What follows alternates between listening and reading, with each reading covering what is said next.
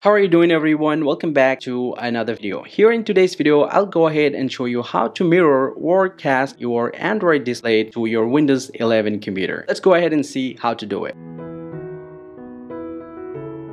So to do that, the first thing first is go ahead and open up your search bar and type wireless display. So here you can see the wireless display, but in any case, if you can't find the wireless display application in the search bar, then just you need to install the wireless display application from the settings. So to do that, just go ahead and simply head over to the start menu and then click on settings. From the action menu, click on apps and then from here, click on optional features, then click on view features and then type here wireless display. So for me, I'm not getting the wireless display option over here because I have recently installed the application so that's why it is not showing over here. So I'm just going to cancel. If I click on see history here as you can see I have successfully installed the wireless display. So you just go ahead and install the application from here and then close the window. And after that just go ahead and open your search bar once again and search for wireless display. Well once you get that just and open it up. So you just go ahead and grab your Android phone and simply just swipe down from the top and do it again. And you'll get to see a few different options. And from here you need to find out the cast option. So for me here is the cast option here as you can see